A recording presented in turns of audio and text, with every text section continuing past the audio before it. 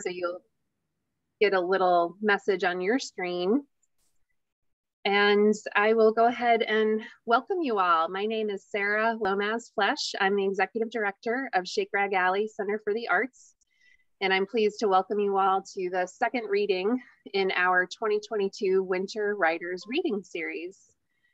Uh, and I mentioned the housekeeping notes and chat. So definitely, I do encourage you to use that chat. We'll have a couple of, of opportunities for question and answer tonight. And so I will be feeding Rick, passing on those, those questions. So definitely keep those coming. Before I turn the mic over tonight, I hope you'll indulge a few words about our organization. Since 2004, Shake Rag Alley, and we're in Mineral Point, Wisconsin, which is midway between Madison and Dubuque for the uninitiated. We're in what's called the driftless area of Southwestern Wisconsin. and we were founded almost 18 years ago to provide arts and crafts workshops for adults and youth, to cultivate the creativity that thrives in our rural region, and to steward our campus in the historic heart of Mineral Point. And since 2011, we've had the privilege of partnering with Wisconsin Writing Contest organizers to offer week-long residencies to their writing contest winners. And this year, we're delighted to welcome winners from Wisconsin People and Ideas Magazine and the Wisconsin Writers Association, as well as Wisconsin's Poet Laureate next month. We're grateful to Rick and all of our writers for their willingness to share their work with the public or youth. In some cases, they go and speak to school children during their residencies. And we're grateful to all of you for being here tonight and to those of you who were kind enough to make a donation as you checked out if you registered on our website. Thank you so much. I want to take a few more minutes to encourage you to visit our website to explore the creative writing workshops and programs we're offering this year. We have standalone, usually one day uh, workshops in subjects including pathways to publication, family history projects, writing from visual images, which will be a virtual offering, and a poetry workshop in the fall that's titled Gathering Gold, I just love that title. In May, we'll be hosting our sixth annual Mining the Story Writing Retreat, which will feature workshops on memoir, fiction, and research and writing. And with the price of the retreat, all included includes craft talks, panel discussions, open mics. We're gonna do a gallery crawl in Mineral Point this year. Um, and we have readings by faculty and local authors. We have, in addition, several free offerings every month. We have a Driftless Poets Workshop the second Saturday of the month, which is virtual and in person. And just last week, we kicked off a new free prose writing workshop. Um, that's meeting virtually until March, and then we look forward to welcoming everyone to our campus. And for the second year, we have our monthly anti-racism book club that meets the third Thursday of the month, also by Zoom. And this is to continue the crucial conversations that began in 2020 when we hosted an NEA Big Read of Claudia Rankine's Citizen and American Lyric. And this year we're reading one book every two months. And so we're midway through. Some of us are farther behind than others. That would be me. Um, the Hemmingses of Monticello by Annette Gordon Reed, which is just amazing. So to learn more about all of this and more, to stay up to date on everything that's going on here, you can sign up to get two newsletters a month by email. You can subscribe to our print catalog. I have a prop this just came out, it's hitting mailboxes and we're very excited by the registrations that are coming in. Um, and you can follow us on social media, Facebook and Instagram primarily. Thank you for listening to that. And now I'm delighted to introduce Rick, whose short story, Tying the Knot with No End, written under the pseudonym Owen Aibric, was awarded the Wisconsin Writers Association 2021 Jade Ring for Fiction. In his political slash environmental life, Rick co-authored Walleye Warriors, the Chippewa Treaty Rights Story, which Rick was kind enough to donate to us for our library. Um, this was, it's now published by Beech River Books. Rick was the organizer for the boat landing Witness for Nonviolence and co-authored the Walleye Warriors book with the late Walt Bresette, Chippewa environmentalist and treaty rights activist. In that book, the chapters alternate between Walt's indigenous voice and Rick's white allies voice. And while the book mostly covers the years of violent protest against off-reservation Chippewa spearfishing 1988 to 92 and related issues, it's also a story of being native, capital N, to place and learning to be small n native to place. Walleye Warriors won the 1993 Council for Wisconsin Writers Book Length Nonfiction Award. Rick writes under the pseudonym Owen Aibric in part to quiet his politically correct mind so he can write fiction. His award winning short story, which is on our website, um, you can read it in full, Tying the Knot with No End, um, is also available in the Wisconsin Writers Association book 2021 Creative Wisconsin Anthology. At age 70, Owen had his first short story, Sewing Shop of Violet, published online with Story Quilt in January 2020. And Tying the Knot with No End is his first print publication in fiction. And again, a contest winner. I'm very impressed and inspired.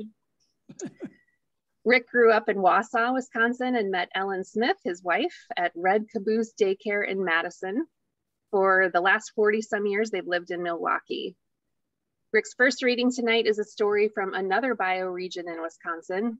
He'll read for about 20 minutes and then we'll take a break for question, comments, and then Rick will read about 15 minutes from a short story in progress, which is about basketball in Milwaukee. And we'll have an opportunity for additional questions and comments. So without further ado, please join me in welcoming Rick to Shake Rag Alley in Mineral Point. Thank you, Sarah.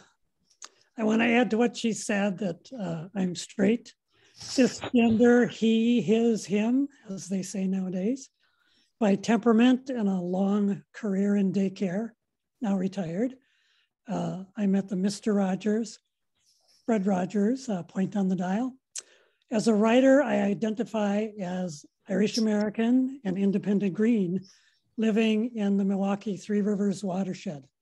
Uh, the fictional story I'm going to read uh, takes place in another Three Rivers region in southwest Wisconsin. It starts out in the 1990s, moving towards the cusp of the new century, then onto the cusp of Google and social media. And then uh, by the end, it bumps into the third decade of the 2000s.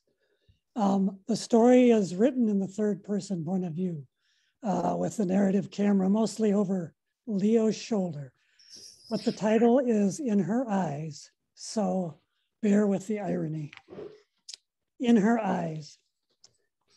Leo scribbled in his notebook, his handwriting jumping with the easy bouncing of the riverboat.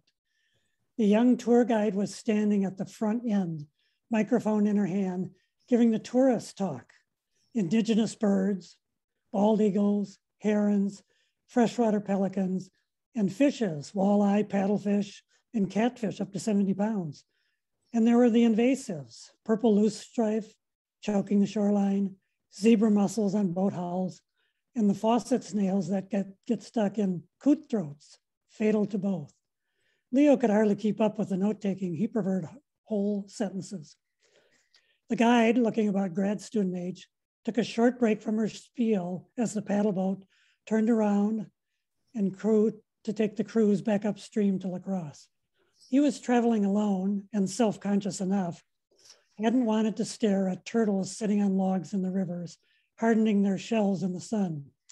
Instead of complaining or panicking at the delay, as his first wife would always accuse him, he got up to walk around. Leo braved the moment and approached the guide at the railing. I hope you tell more of your river and animal stories. Soon, she said politely. I love that tribal quote, Leo continued, about the big storm never comes to a place where three rivers meet. I saw you taking notes in back, she pointed out. Embarrassed, he replies, he replied, I'm in bioregional literary criticism at the university. She looked a little dazed. Really, it's just stories of place. That's why I like this cruise so much. After the tour was done and all deboarded, Leo and Anita talked for a while underneath the straight, the tacky, straight-jacketed, generic Indian statue that sentineled the river, and the two exchanged contact information. Time passes, a few years. So why did you pick me to talk with on that cruise? Anita asked Leo. They were cutting aster stalks in their front yard prairie garden with their daughter Keely. Uh-oh, he thought, the bud is off the bloom. Maybe the age difference was finally hitting her. He was 10 years older, married for five years now. Not far away, Keely gathered coneflower seed heads. She was the five years. I needed someone to talk to, Leo answered. I was feeling anxious. On a beautiful day on a calm river, you're the prettiest woman on board, he hastened to add, loud enough for Keely to hear. In a whispered aside, Anita said, like one of your students? Leo had more of a say with his second wife. Though their age difference sometimes turned negotiations into tense arguments, he stayed even on the housework, never argued about music preferences, only the Eurythmics in common, never played seriously competitive card games or board games.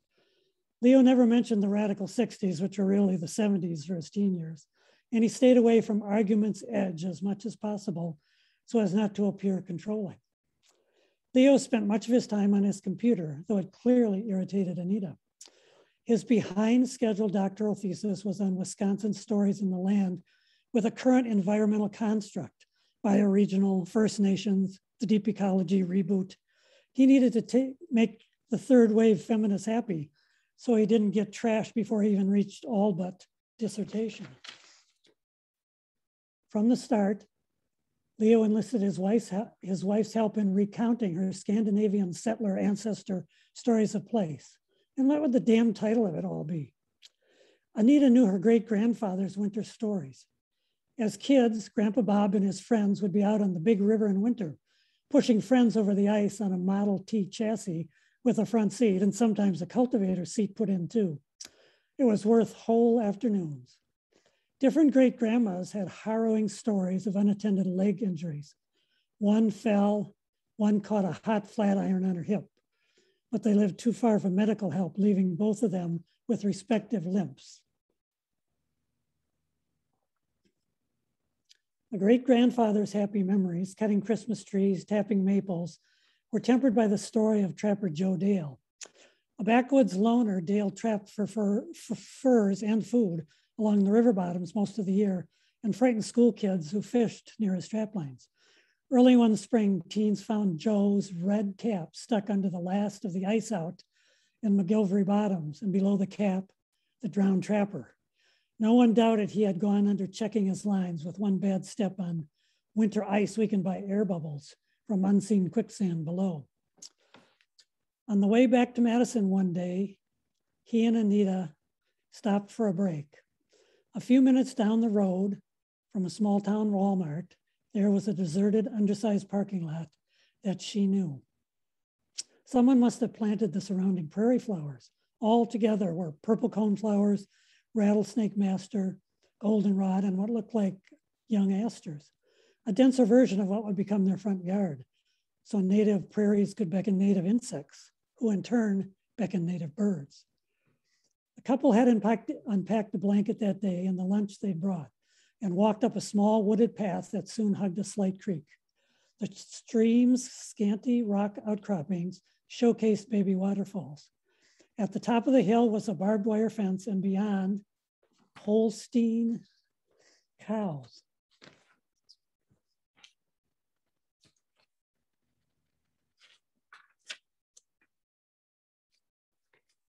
Sorry. Back off the hilltop, they found a cleared level space in the brush. No farmer in the dell, no farmer in the field. They were, here, they were within hearing distance of the parking lot if any newcomers should arrive. Together, they laid out a blanket and lunch. And when Leo sat down, Anita straddled him and began unbuttoning her blouse. When Leo looked up at her eyes, they were soft and confident. After later trysts, Anita would sometimes say again tenderly what she had said that day Making love is healing the earth. Leo prayed he had never said that to anyone else before him. Through his daughter's daycare years, Leo struggled to extend his thesis, his master's thesis to the doctoral dissertation. Keeley showcased her mom's confidence when they all weeded their prairie garden. One was at Keeley School, and especially when Keeley played soccer. Leo started her on his borrowed animal legends around the campfire when they celebrated her kindergarten graduation. But what, but would he have the time to finish his dissertation by co-parenting? And would he segue, and how would he segue into current and diverse stories of place? Leo pleaded with Anita, I need newer stories. The Hmong hosta shoots in their cooking. They haven't been here long enough to have land traditions. Well, they hunt and gather, even ducks in the park. I need written down traditions. Leo had Jim, Jim Stevens' seminal three volume set, The Journey Home, the literature of Wisconsin through four centuries, but he couldn't track down the eminent editor.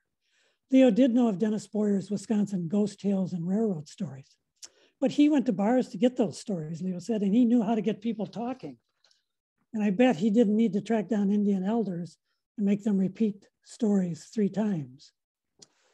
Time passes. Leo had gotten to a bad place trying to pin down academic things, but Anita seemed to be getting to a bad place with him too. If you're not making me fill in the blanks for you, then you're always trying to put a frame around what I say. Reflecting a little, Leo said, I guess maybe I'm going for the last word always, like my dad, the inveterate professor. Leo got the Van Hise home when his folks moved to Arizona.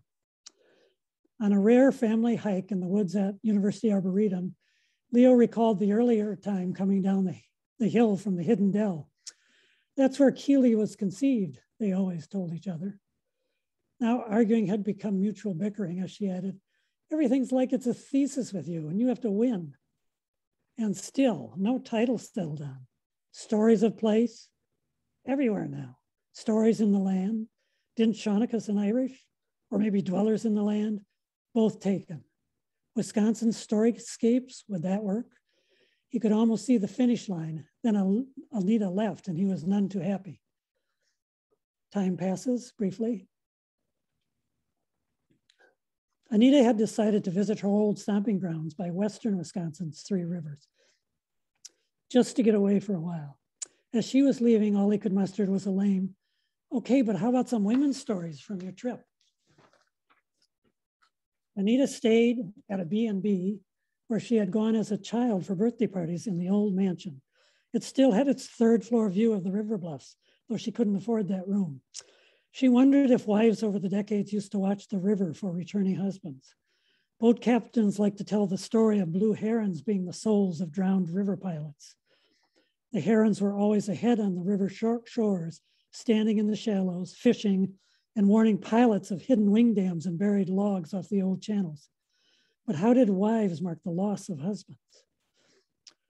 On her walk the next day, she visited Pearl Street Books. She looked for romance novels, but took her time with the Wisconsin history books. Then she tried the new ice cream shop and walked over to Myrick Park. Its critters and masonry cottage, now a dimming fairy tale. On her first phone call home with Leo, he mostly worried about getting writing done, gaining permissions, and gathering more women's stories. Everything's coming apart, he moaned. Papers are strewn all over the place. You'll do fine. Keeley then got on the phone and reassured her mom things were good at home, but testy with her elementary school teacher. Anita listened for a while and then advised Keeley, don't show up your teacher, make your point with a question. On her next walk that week over the Pettibone Bridge and onto Goose Island, Anita observed among women bending over plants, maybe hosta shoots, and down a ways among teens uh, smoking who knows what. Anita thought of returning home and what, what next task she might have any interest in. Just ahead on the island, cops showed up and most of the young teens scattered, easily outdistancing the police. One teen stayed behind to talk, to, to talk but, became, but things became heated and, quick, and a quick-tempered cop threw the kid face first to the ground. Then two cops jerked the kid up and he started spitting out grass in their direction. The police threw him down, this time on his back, and maneuvered some kind of rubber mask over his face. The teen squirmed and then slumped. Anita, scared for the teen, yelled, Can he breathe? The cop shouted the young teen was formally arrested, and with the spit mask thrown over him, put him limp into the cop car. Now Anita was pissed. Is he breathing? She screamed.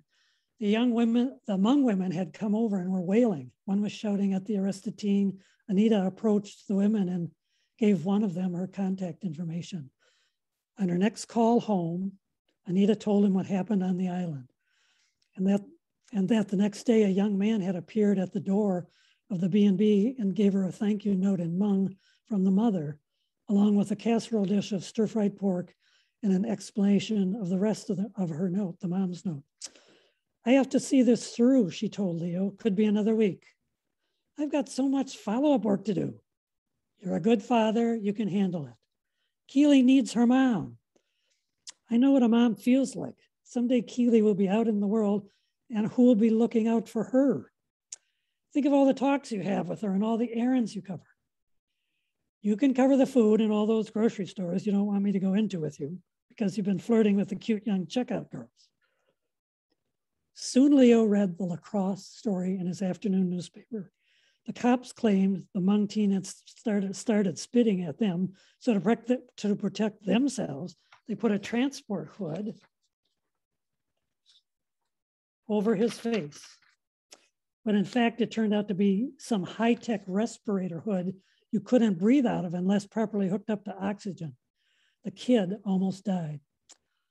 While Leo awaited Anita's return home, he wondered to himself how he could best credit Anita for all her contributions to her dissertation. And who might Keeley give credit to when she was grown?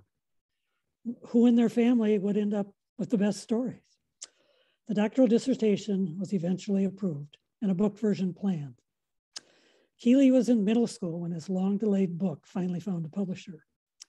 That night, the night after Leo got the author's hardcover copy, he dreamt he was reading a paper by Keeley on her life up to that point, but he could not deci decipher it.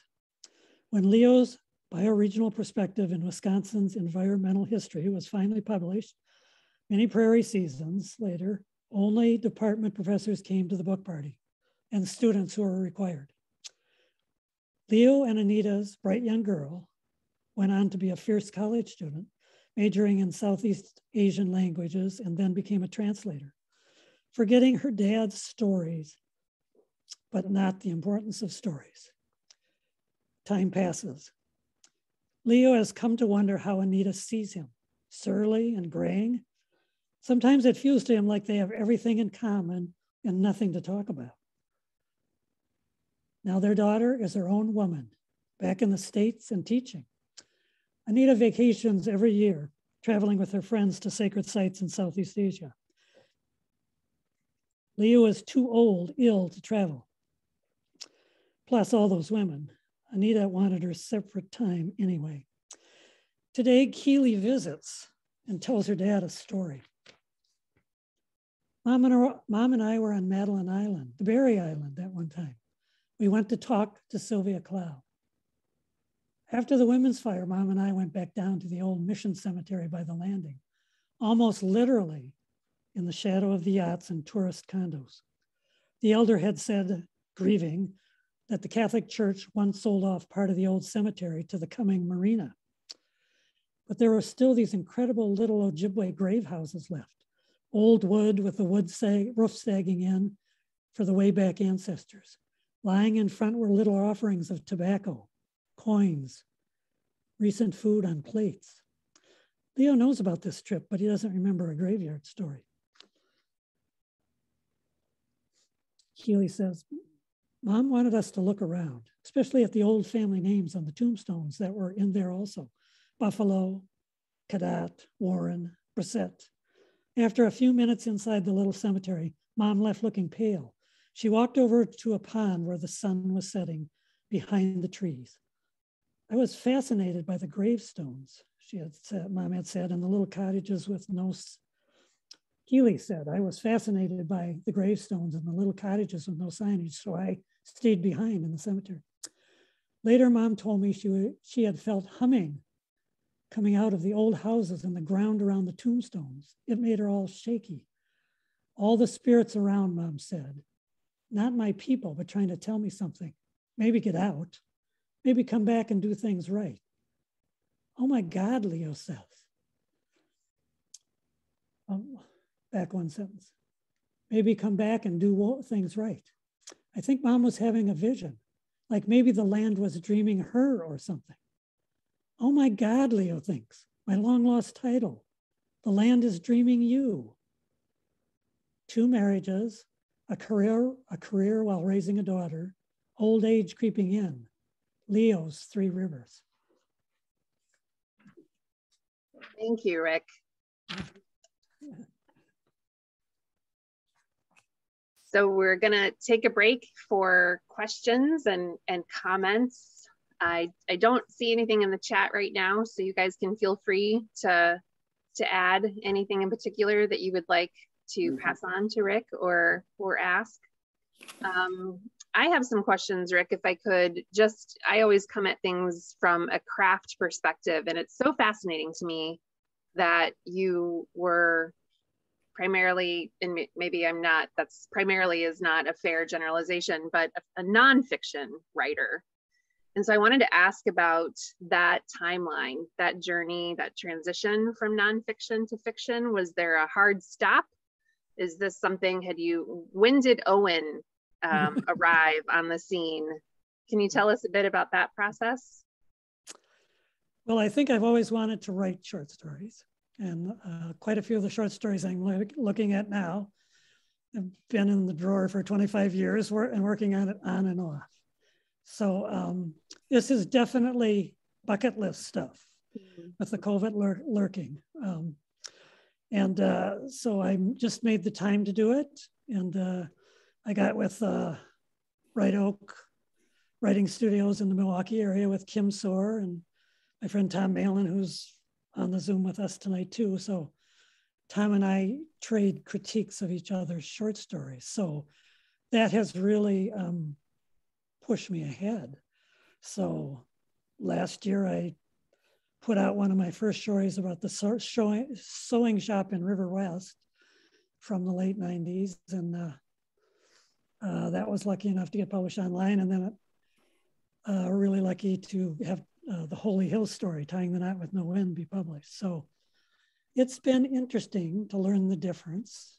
Um, I, you know, as a political writer, uh, I'm reminded that uh, we always try and get the reader to reach an epiphany as we try and give a call to action um, and, and get people involved. If we don't change if we don't get people involved, how will we do anything about the planet or our neighborhoods?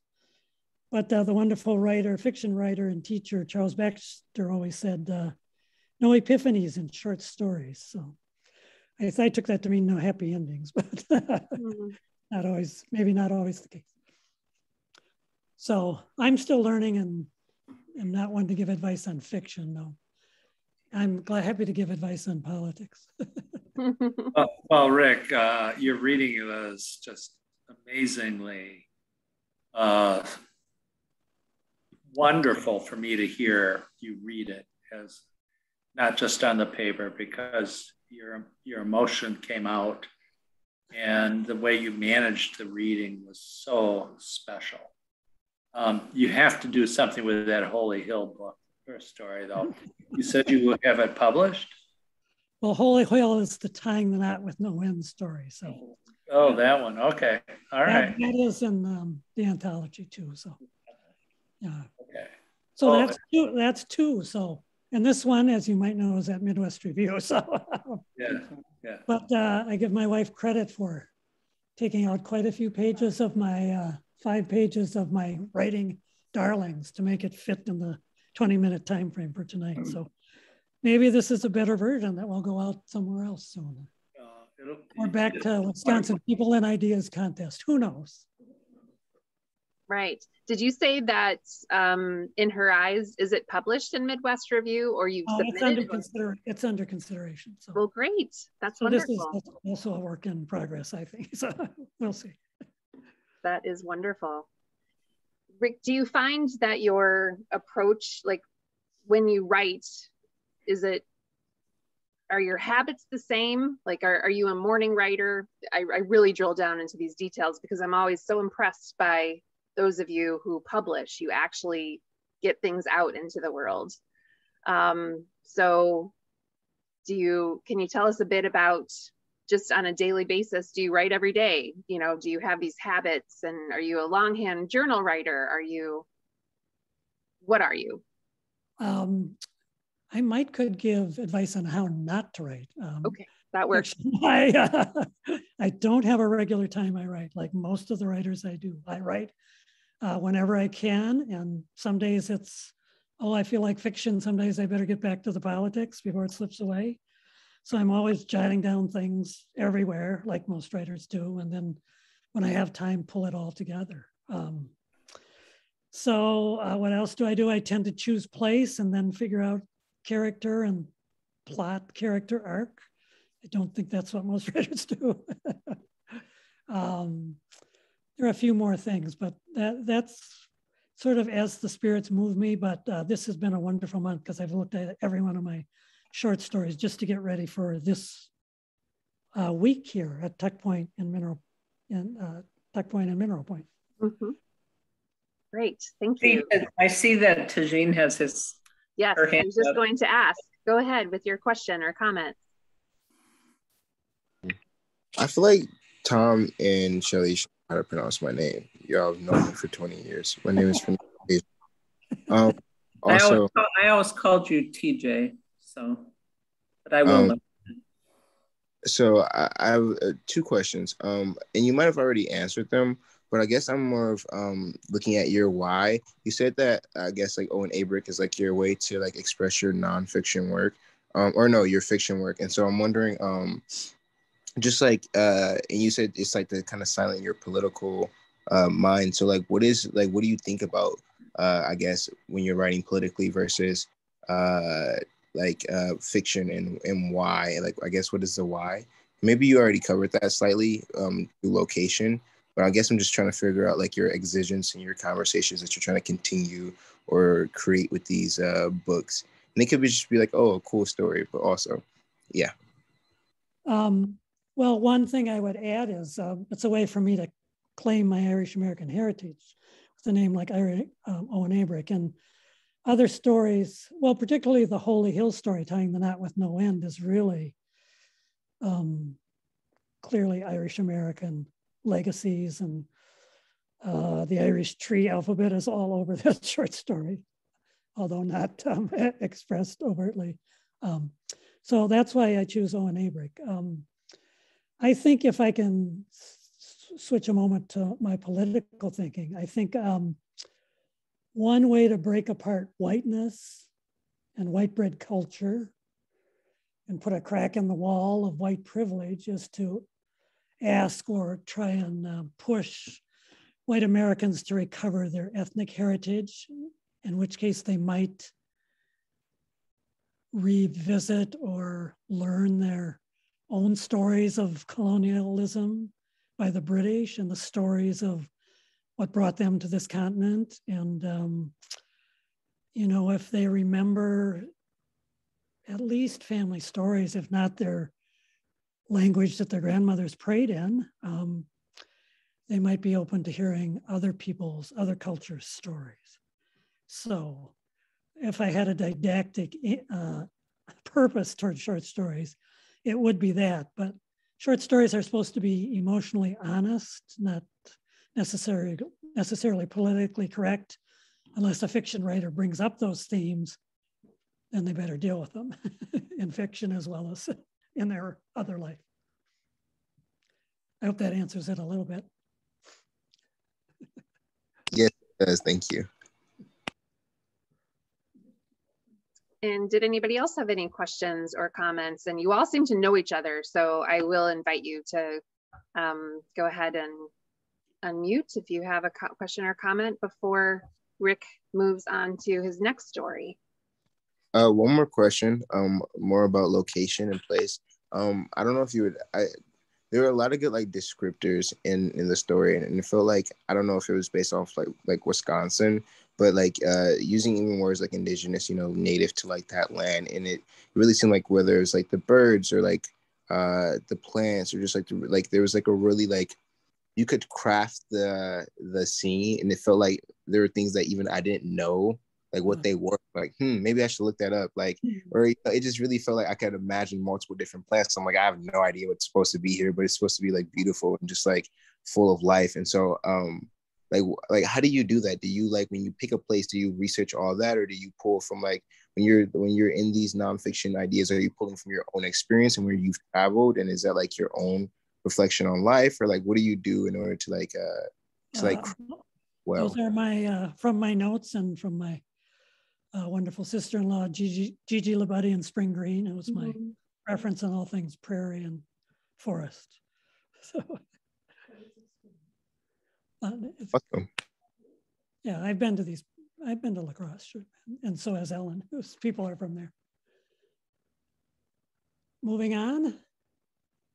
Sure. Okay. um, I see we also have one person I don't know, so I'm very happy to see that. Um, and that would be, yes, Bill, who registered today. And there are a few people who registered and who I'm not seeing tonight. So sometimes life okay. interrupts the plans. So we're happy to see Bill. Hello. I'm going to read. I'm also uh, an Irish American, so very happy to be here. All right. I'm going to read from uh, Old Leather. I'm reading the second half of the short story. The first half takes place uh, basketball game, but uh, the second half takes place at a tavern where the five of the guys go to decompress uh, and argue some more after the basketball game. Um, I'm going to do a few minutes on the setup, which uh, which is what's in the first half of the story, so you understand the people that are referred to at the tavern. Uh, the basketball games happen every Friday afternoon after a long work week. Um, Northside Alternative School teachers in Milwaukee, all white guys, would get together and play with Latino agency guys from United Community Center on Milwaukee's South Side. They meet up at the old uh, Lapham School. Uh, it's an alternative, it's a roughneck alternative high school for kids having trouble uh, in Milwaukee Public Schools. Um, but the gym is named after Increase Lapham, the gentle surveyor of effigy mounds um, uh, in, in the Milwaukee area. So the main character is Peter, who's older than everybody else in the game. And uh, Peter fears he's aging out, like the community gyms he plays in.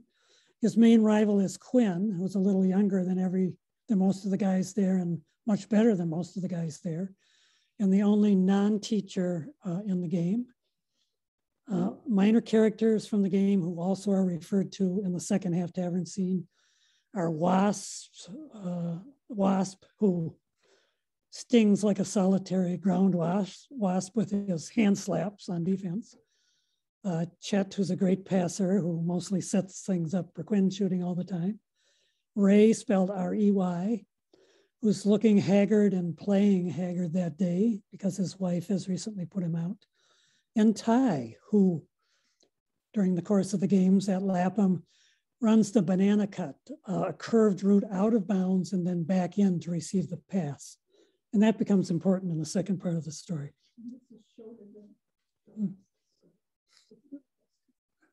Right. Um, Quinn's girlfriend also shows up to watch some of the game. She's in her uh, work uniform when she comes to watch Quinn play. And for the last game, a young African American man uh, who nobody knows shows up. Uh, he looks like Michael Jordan and uh, can almost dunk the ball, uh, much to the jealousy of everyone else in the game. Um, the things between Peter and Quinn escalate to a pushing and shoving match uh, right in front of Quinn's girlfriend at the end of part one. So this is part two of um, Old Leather. And Peter is on his way to Derry Haggerty Tavern. Peter's sister had all the sports trophies in the family. All he had were the injuries, crooked fingers from reach around, poke away stingers on defense, arthritis starting in the ankles from pounding the boards, and, and a torn bucket handle in his left knee, knee meniscus. What pain would come from today's game? Peter wondered as he drove to the player's favorite watering hole, dreading taking the licks he knew he had coming. At the inner city neighborhood house gym where he used to play, the players were so good they could claim their own mistakes. My bad. where they'd settle disputes with, play the point again, or you, you can't call a foul and take the bucket, and dude, cut those fingernails. When Peter arrived at the tavern on Blue Mound Road for the usual after game post mortem, Chet, Ray, and Ty and Quinn were already there, seated together by a window. Not many of the other players usually showed up. Wasp was rumored to have a family. The scene at the bar was always more verbal one-upmanship, one-upmanship and the steady throwing of barbs. The four hard drinkers had been decompressing. The play, players all added their funky sweat to the smell of peanuts and smoked ham. The redecorated Irish bar seemed cavernous with brightly colored alcoves of beer signs and posters. The same old brews in the straw colored cabinets, a few featured black glass decanters on small shelves, and the stone hearth still unused. But Haggerty's old fishing village photos were gone, as was the paddy wagon to baseball stadium sign, though some of the harp symbols remained. The old barkeep now rested across the street in the cemetery, keeping an eye on things. His protege carried on in his memories behind the bar. Like a sports hero's dad, uh, like a sports hero's, his dad just died, but he plays on. A young waitress arrived at their table to take their orders. What happened to the old Rose of Sharon? Ty asked. She retired, the waitress replied. You must be the new Rose of Sharon. Ty kept trying, always the player.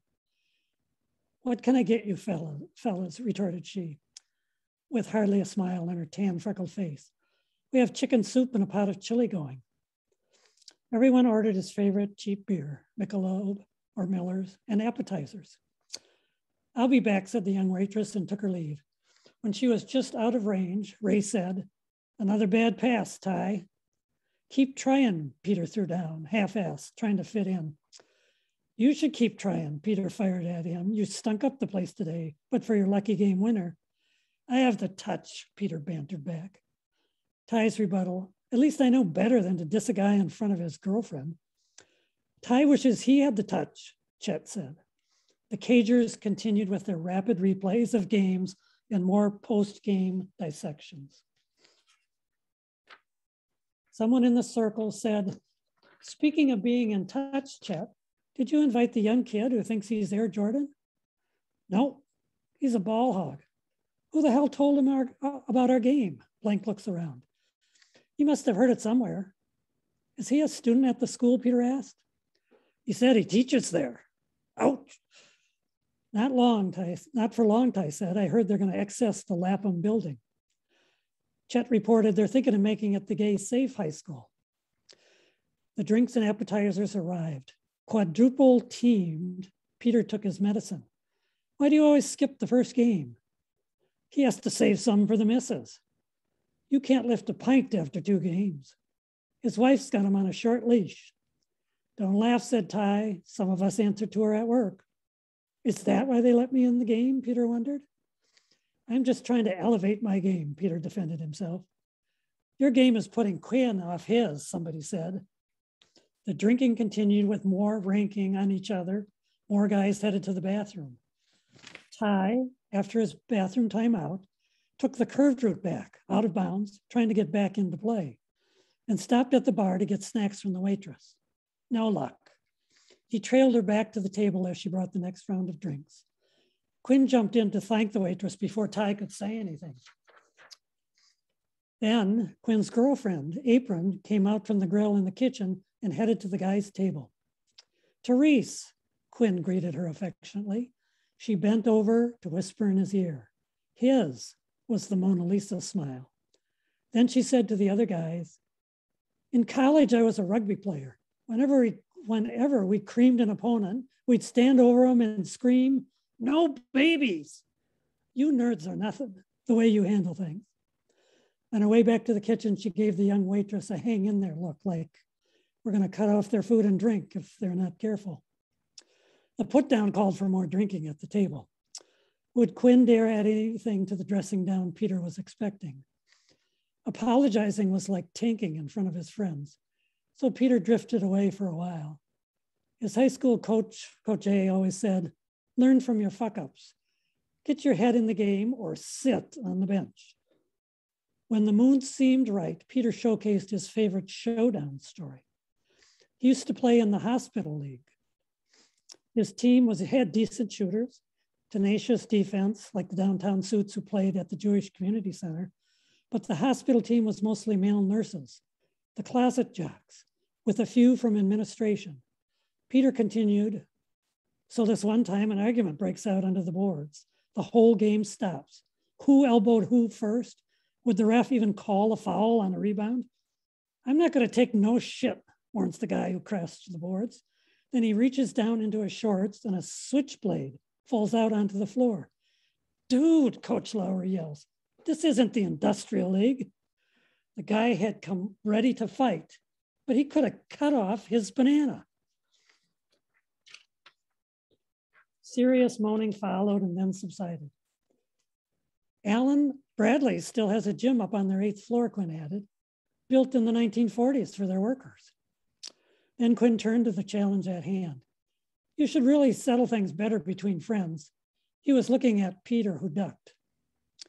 Either Peter was aging out of friendship with his sports buddies, or Quinn was right. Ray invited the gang to come down to the south side and play at United Community Center. It costs less than two beers to get in, and the gym looks brand new since the do over. I could use the company. Peter appreci- appreciatively put the invitation into consideration, a game he could maybe handle. When he was a young kid, Peter would run out the back door of his house on a warm day and practice buzzer beaters in the driveway. Peter loved the touch, Peter loved the touch of the magic sphere, Spalding's pebbled leather ball, his dad's, but meant for indoors. Peter could make his body glide in space, flying towards the basket for a one handed release, a shrimpy guy skying again for the rebound and the putback. When Peter finally beat his dad at basketball, his, fa- his father growled and cursed at his own self for not being able to compute, compete anymore. Peter's relationship with Quinn was almost the same. I played a few times at UCC, said Ty. I heard a rumor, don't know if it's true, that Diaz once passed the ball. You have to pick him up at the half court line, Peter instructed, as if coaching now. Otherwise, he'll fire away and hit every time. By the third round of drinks, the bar had grown hazier. The Beatles were singing Come Together on the jukebox, but the travel posters seemed to drift apart and sail away.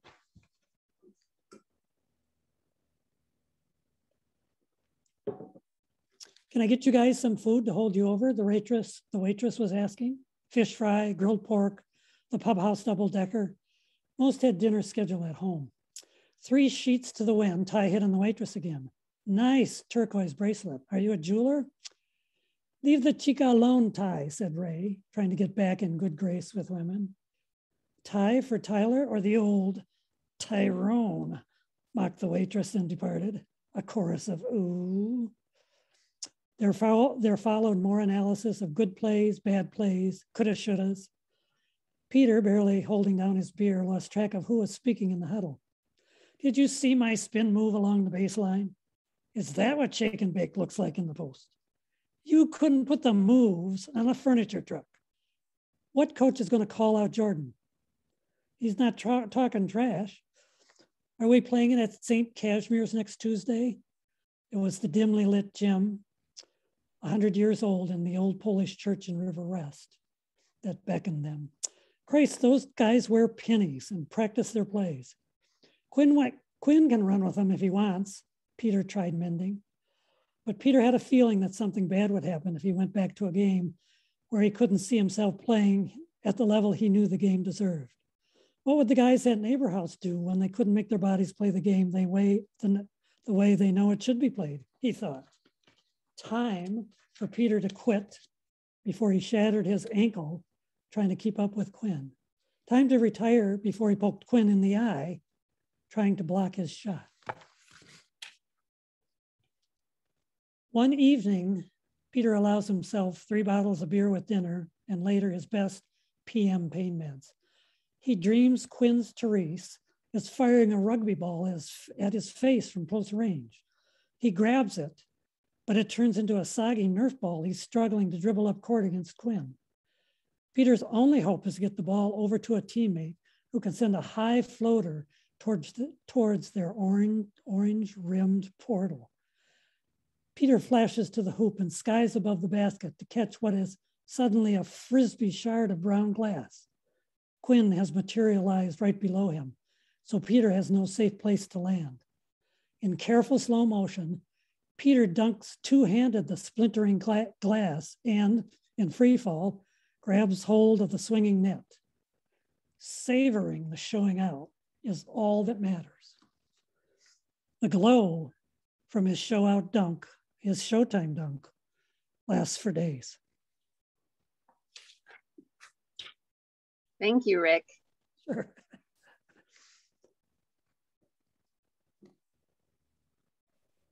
All right. Um, I, I had a few questions for people to weigh in on or put in the That's chat right. room. That's right. One is um, the title. Uh, um, the working title for so long, from so many drafts, was Banana Cut. So if you like that better than Old Leather.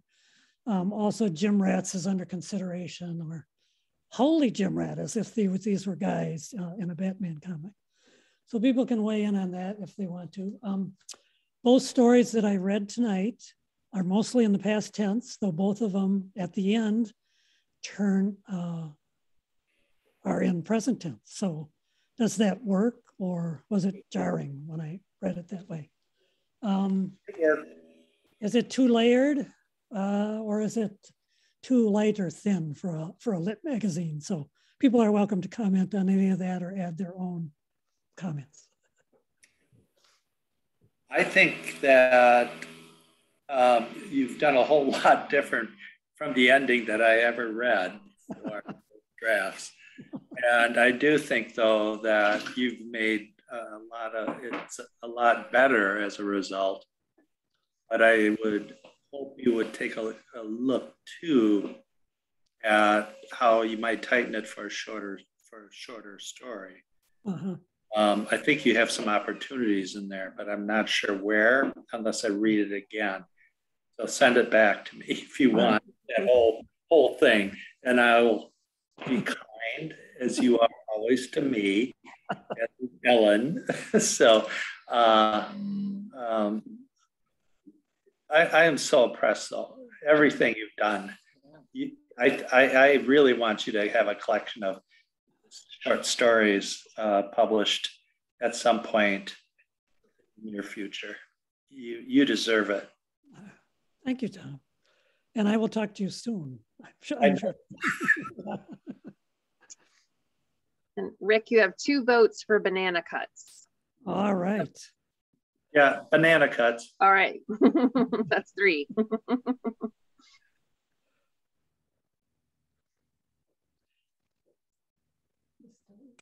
Any I think other? it worked. Oh. Go ahead. Sorry. I think that the um going from um past to present works. I think it also gave like an element of like comedic relief. And it was really like um I think there are a lot of descriptors in the past in the in the um past tense to really like uh place you in what you are. And so I think that when it gets to pre- to present tense, it's like really nice and really assuring, and the clarity is really there. So I like it a lot. Thank you. The um, the first part of the story is fairly. It's based on my experience playing in most of the gyms mentioned. Uh, they're not Allen Bradley, but I never went out to drink with the guys, so the bar scene's completely fictional. So. Any other comments or questions? Michael and Gigi, welcome back, Gigi.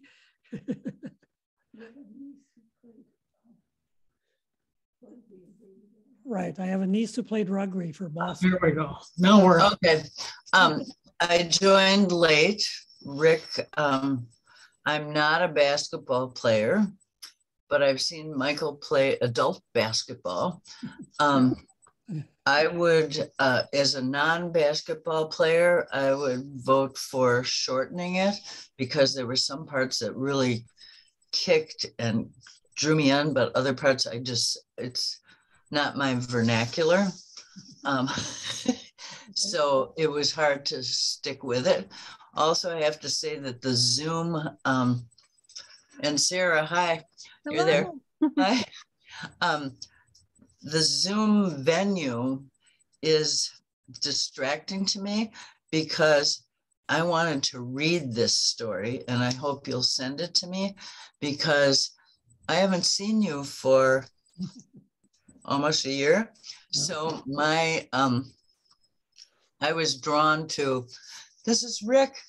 Um and so it, it um He looks so much younger than we remember him. so the, the Zoom um, venue distracted me personally because I know you and Mm-hmm.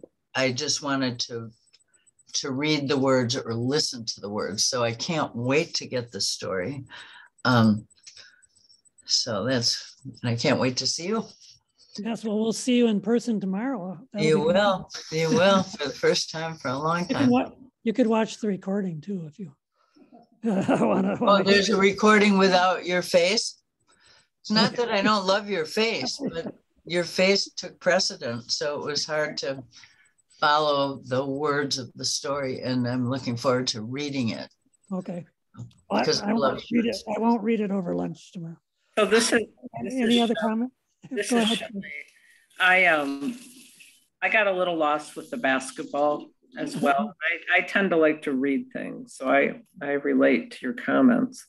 Um, I, I did want to just say, I do think the bar scene works Mm. for someone who doesn't hang out in bars with groups after basketball. Seemed pretty good from my vantage point. I've been in a few, so I can't speak as a man, male basketball player in a bar, a bar but but I can't. Anyway, I thought it was I thought it was good.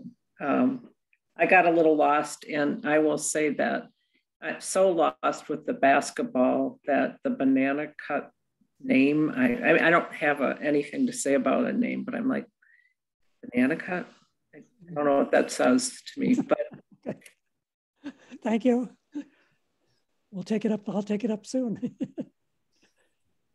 Other comments?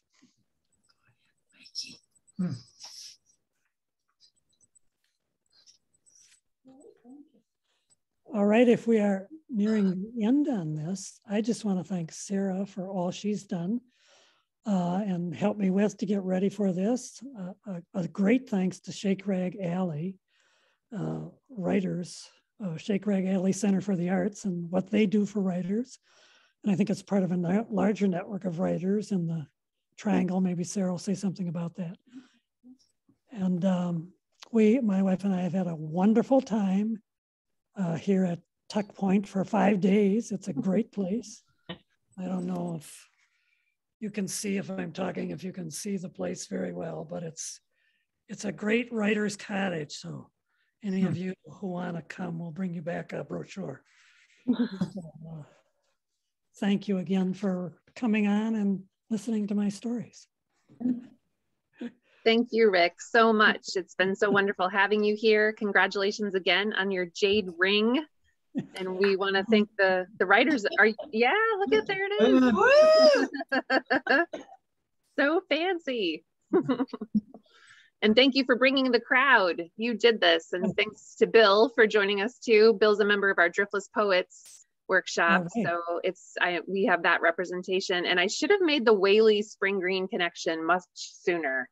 I, when you said you had family in Spring Green, I was thinking Ellen's family, but mm. I've known Michael and Gigi since 2010, if you can believe it. Mm-hmm. So, I believe. it. so nice to connect those dots. Lovely to see you guys.